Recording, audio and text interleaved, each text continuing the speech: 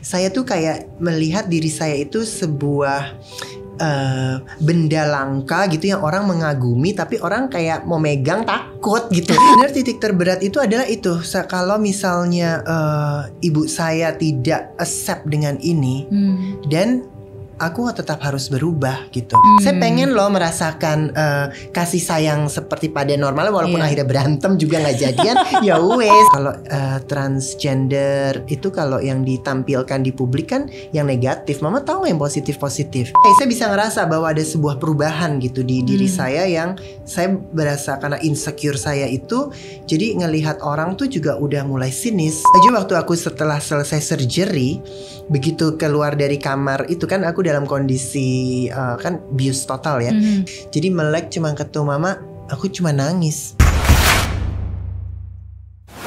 Uh, kapan pertama kali Oscar uh, ngobrol ke Mama Regi dan memberitahukan bahwa I'm a woman, saya adalah seorang wanita di tubuh pria? Itu waktu umur saya 35 tahun deh.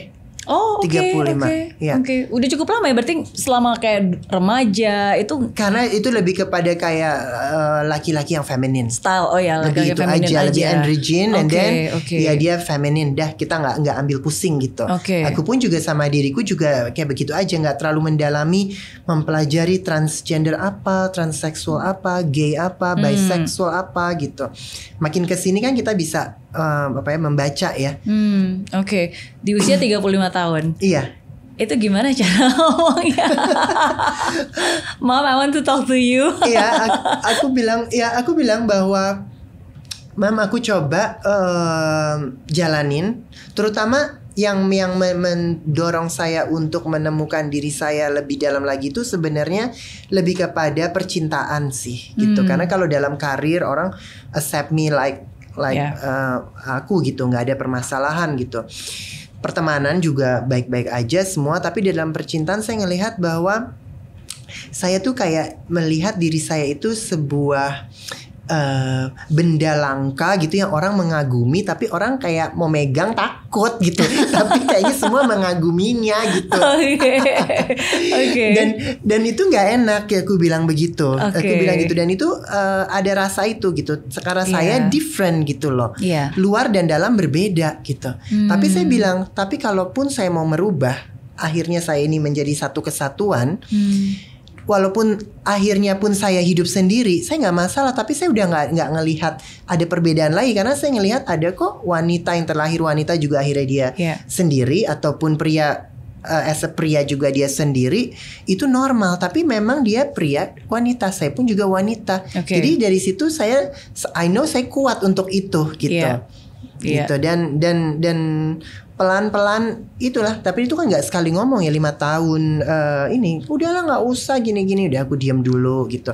Nanti aku sambil lihat lagi mama tau gak sih kan yang kalau uh, transgender itu kalau yang ditampilkan di publik kan yang negatif. Mama tahu yang positif positif mm-hmm. aku bilang ini ada loh nih ada jenderal dia ini dari laki-laki loh mam aku bilang. Dan dia sekarang tetap jadi perempuan dan di Australia. Okay. dia jadi perempuan dan dia tetap di militer aku bilang gitu. Wow ini kan positif aku bilang. Ada penulis juga aku bilang. Ini ini nggak mereka nggak pernah terkuak di media. Hmm. jadi being transgender tuh sebenarnya hal yang biasa aja itu tergantung kitanya pembawaan diri kita mau bagaimana gitu. Karena kan memang image-nya sensasi-sensasi terus kan transgender ini gitu. Itu yang yang saya juga ngerasa uh, apa ya hmm, masyarakat juga jadinya juga negatif mind yeah. gitu kalau melihat transgender. Iya, karena mereka cuma melihat sepotong mm -mm. tapi mengeneralisasi yes, betul. dan mengambil kesimpulan mengambil sendiri kesimpulan berdasarkan sendiri. pemikiran mereka yang memang terbatas karena mereka iya. nggak melihat semuanya. Iya, betul. Oke. Okay. Tapi it can be understandable sih karena kan setiap orang pasti punya pandangan yang berbeda dan kita tidak bisa memaksa, memaksakan ya. Benar, benar. Hmm. Makanya saya berharap sih dengan kita dengan internet yeah. ini set, apa ya kita sebagai uh, personal individu kan kita sekarang punya wadah nih untuk membaca. Yeah. Jadi kita tuh untuk saya yang penting kita sebagai uh, pribadi itu yang kurang ya menurut saya adalah membaca membaca sebelum kita tahu sesuatu tuh kita baca dulu deh. Iya. History itu paling penting menurut saya gitu. Hmm. Ap- kenapa Indonesia misalnya bisa seperti ini Iya. gitu. Budaya Indonesia itu bagaimana apakah budaya Indonesia akan hilang Iya. gitu misalnya dan banyak hal sih gitu berkaitan kok. Jadi begitu kita berani melakukan itu apa pun langkah kita tuh juga juga lebih pasti. Kalau kita Hmm. mau berbisnis pun juga kita tahu yang mau kita bisniskan gitu. Betul. Kalaupun kita mau berpasangan juga tahu apa yang mau kita eh, jalankan gitu. Jadi aku rasa itu kayak satu essence itu saya nggak tahu bahasanya apa. Iya. Tetapi itu sebenarnya bi- bisa mengconnect ke semua pertanyaan-pertanyaan eh, kita dalam eh, as a human gitu. Hmm, oke. Em, pernah kalau kalau dari lihat ya dari apa pun yang disiarkan sama uh, Oscar, you always positive, oke? Uh, you have this charisma. Yeah. Uh, you take things easily gitu. Makanya bahkan di saat waktu kecil pun saat susah pun ya dibawa happy aja gitu. Uh, tapi ada nggak sih momen titik terberat yang sungguh berat yang you almost give up or like you just feel that you cannot handle it? Apa titik terberat? Sebenarnya titik terberat itu adalah itu kalau misalnya eh, ibu saya tidak accept dengan ini Hmm. dan aku tetap harus berubah gitu. Hmm. Itu titik terberat itu gitu dan dan nyoba terus capek gitu dan untuk ngejelasin lima tahun kan capek ya gitu. Walaupun akhirnya di accept tapi itu kan capek kayak kita cuma mau menjelaskan ini kopi loh gitu. kopi beneran gitu. Cuman enggak udah deh gitu. Iya. Jadi kan menj- menjelaskan itu capek itu yang yang yang saya sampai bilang bahwa oke pokoknya aku cuma ngasih tahu bahwa aku bisa jadi dark ya kalau ini dan itu saya udah mulai sinis maksudnya tuh udah mulai apa ya saya bisa ngerasa bahwa ada sebuah perubahan gitu di diri saya yang saya berasa karena insecure saya itu jadi ngelihat orang tuh juga udah mulai sinis jadi udah nggak nggak positif lagi gitu Hmm. dan saya ngerasa bahwa ini ini bukan gue deh gitu orang tuh nggak ada yang salah gitu karena nggak nggak bisa peace sama diri sendiri Hmm. itu itu mungkin Oke. Then how do you overcome that kind of darkness or negativity pada saat itu? Biasanya apa yang Oscar lakukan? eh bekerja saya Oh, senang iya? kerja iya Oke. saya selalu gini aku bilang selalu sama teman-temanku gini gue paling nggak suka weekend karena gue nggak tahu mau ngapain Oke. Oh iya. iya kalau kerja aku bisa bisa ide ini ide itu gitu Oke. Oke. Itu Kerja baik, aja. baik untuk bisa menuangkan karya dan untuk bisa kreativitas menurunkan karya ya. itu yang aku lakukan Oke, oke. Wow. Emang berbeda. Oke.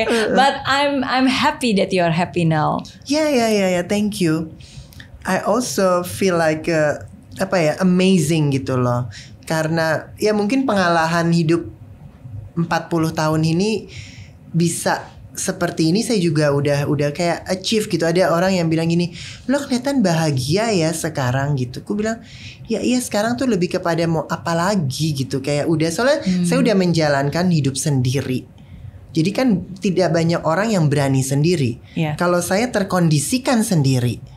Jadi untuk menstabilkan diri itu kan pada waktu kita sendiri. Hmm. Kalau misal- hidup sendiri tuh maksudnya seperti apa? Gini, kayak tadi saya bilang saya kayak sebuah barang yang orang tuh nggak berani menyentuh ataupun mau mau memilikinya gitu. Oke. Itu kan ada rasa sendiri ya. Jadi bahwa saya tidak pernah ada orang yang mau menfirm saya gitu. Misalnya Oke. sebagai pasangan. Oke. Bahwa hey dia pasangan saya loh gitu. Oke. Itu kan udah juga nggak nggak nggak enak hidup seperti itu gitu. Nah dari itulah perasaan loneliness itu. Dan saya Hmm. mulai kan ngelihat bahwa orang masalah orang akhirnya putus sambung, kawin cerai gitu untuk saya nggak masalah. Tapi kan tetap sempat menjalankan rasa sayang dan cinta itu. Menurut saya itu yang saya uh, mau. Saya Hmm. pengen loh merasakan uh, kasih sayang seperti pada normalnya walaupun Iya. akhirnya berantem juga nggak jadian. ya wes gitu. Tapi rasa itunya aja dulu gitu. Iya, iya, nah, iya. nah itu yang akhirnya aku eh, dengan pemikiran sendiri dan pe- dan pemikiran. Hmm. Pemikiran saya ini kan nggak banyak semua orang bisa terima. Iya. Dengan pemikiran ini kita kan jadi lonely gitu. Iya. Dan dan kalau memang kita menga, apa kita eh, lihat cerita-cerita dongeng-dongeng ataupun apa kan ada yang sebut pengembara, petapa gitu Hmm, kan. Kan betul. di bawah sadar kan ini semacam itu kan. Kita kayak bertapa di dalam diri kita sendiri, bertanya ini semua apa, tapi di satu sisi juga menjalani hidup, Betul. kita mencoba mengerti orang, mencoba mengerti masyarakat, mengerti orang tua kita gimana, apa dengan Mengerti sendiri. maksud Tuhan untuk kita apa? Betul gitu kan Bekerja itu apa Berkarya itu apa eh, Itu Iya. jernih itu Iya. Jadi begitu kita udah bisa Itu untuk aku nyetelnya udah enak gitu Hmm. Karena kehidupan itu saya selalu bilang sama mama juga ya Mam oke lah ki- apa Thanks God sampai saat ini Bisa dikatakan kita sukses Aku Iya. bilang gitu Tapi sukses itu juga kita harus clear loh apa Iya. Sukses is not about uang Sukses itu kita lebih kepada apa ya, kita bisa mengerti lah bisa balance gitu Iya. jadi kita kalau ada angin tuh kita nggak gampang goyang kalaupun sampai kita harus kembali lagi ke titik awal menurut mama kita sukses atau enggak? Aku bilang. Hmm. pernah ada diskusi seperti itu. Jadi karena kita udah menjalani hidup dari bawah terus perjalanan ekstra perjalanan hidup saya yang tadi dengan kesendirian itu. Jadi udah siap untuk mau ditaruh di mana juga tinggal nyetel aja gitu. Betul. Ha-ha, karena nggak nggak perlu ada harapan lagi. Kayak misalnya PR harus punya anak gini gini. Kan sisa hidup tinggal meninggal aja ya Mary. Kan meninggal pun kita harus siap loh menurut saya. Mulai aneh kan gue. Meninggal aja udah dipikirin. Tapi memang saya begitu. Ah, iya, betul, betul, betul. harus kita harus eh, kita apa hidup ini kayak ada polanya Iya. gitu tapi kita setiap itu ada pembelajarannya gitu Iya, iya, iya. And and and that's life kan. Sometimes That's it's the journey that makes us. Um, um, saya pun juga um, maksudnya every one of us pasti pernah mengalami masa-masa di mana kita mempertanyakan ya what Mm-hmm. is my purpose in life sebenarnya kita tuh diciptakan untuk apa sih gitu kan Yeah. sampai hari ini kita masih hidup itu maksud Tuhan apa sih gitu Yeah, kan there betul. must be something Yeah. um, dan I um, s- buat saya saya juga ada saat-saat di mana saya mengeksplor itu gitu Yeah. kan meaning of life seperti Yeah. apa and the journey Yes. dan seperti yang tadi Oscar bilang, kalau suatu saat nanti pun saya akan kembali ke tempat yang sama, Iya. is fine. Iya. Karena kita akan kembali ke tempat yang sama, tapi dengan orang yang berbeda. Yes, Karena kita true. sudah melalui banyak hal. betul Jadi tempatnya mungkin sama, tapi kitanya berbeda Iya. gitu. Jadi um, itu sih something yang Iya, in- kekayaan interesting. wawasan ya. Mhm, Mhm. mhm. Karena itu yang yang yang yang pada akhirnya rahasia bukan rahasia sih maksudnya achievement dari kehidupan untuk saya itu tadi sih wawasan. Iya. Kalau uang tuh kan hanya ya udah oke kita bisa beli ini beli itu menghidupi kehidupan cukup tapi kan dengan kita dapat uang juga bagaimana kita Iya. eh, apa ya mengolahnya dan ya seperti itu deh. Oke, kata-kata Mama apa yang paling um, diingat? Nasihat terbaik yang Mama pernah bilang untuk Oscar. pada saat terakhir itu sih maksudnya dia nangis ke saya dia cuma bilang gini "Eh, eh, siapa pun kamu whoever you are dia bilang you are my Oscar gitu. So you can choose whatever I will accept dia bilang gitu. So do it dia bilang gitu. Aku tuh yang udah gimana? Itu rasanya tuh susah deh dijelaskan itu. Kayak kayak beneran kayak ada eh, apa ya secara feeling hati iya cuman physical tuh juga terjadi gitu loh Iya. kayak darah peradan darah atau apa tuh kayak semua ser gitu Hmm. dan di situ tuh kayak kayak kayak ada pelepasan sesuatu gitu Hmm. Hmm. itu aja waktu aku setelah selesai surgery begitu keluar dari kamar itu kan aku dalam kondisi eh, kan bius total ya Mhm. jadi kan pas udah selesai kan baru keluar dari eh, ruang operasi Mhm. jadi aku udah udah agak bangun kan melek langsung make sure mamaku bahwa I'm fine gitu kan jadi melek cuma ketemu mama aku cuma nangis Se- Hmm. itu secara badan aja udah reaksi begitu Hmm. nangis aja udah selesai gitu Mhm.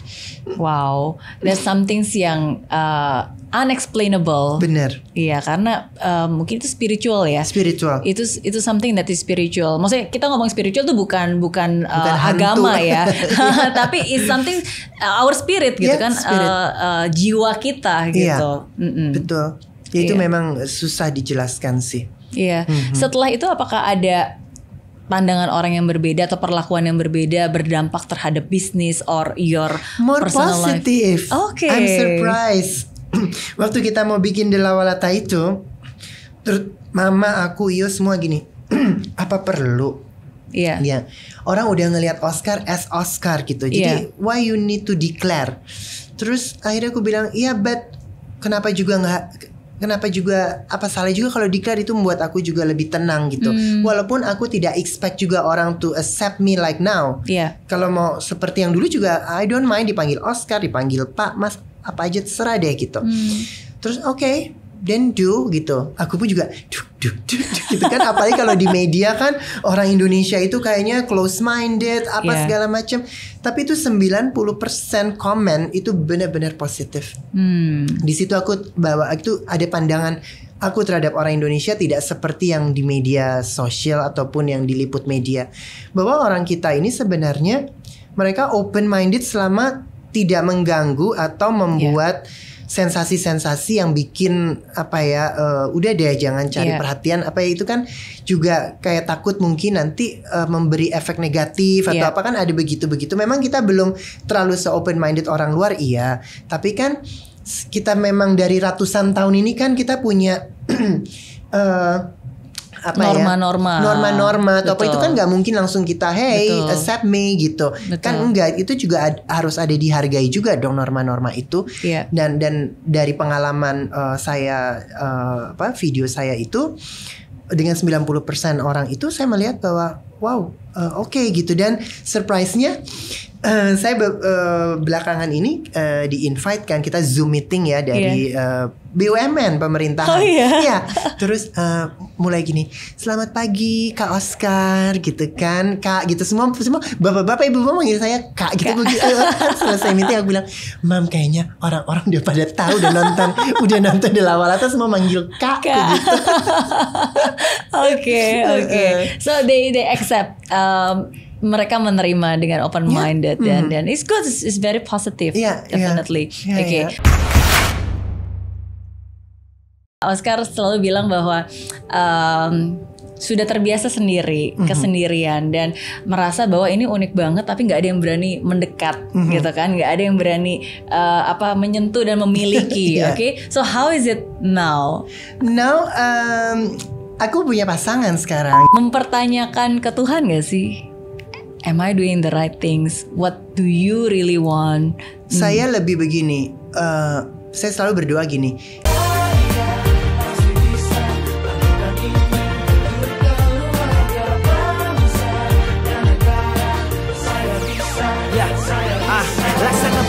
Tanpa hujan, hidup tanpa tujuan, kering dan mati tanpa hijaunya tumbuhan. Ah, demikian kalau mimpi tak kunjung terjadi,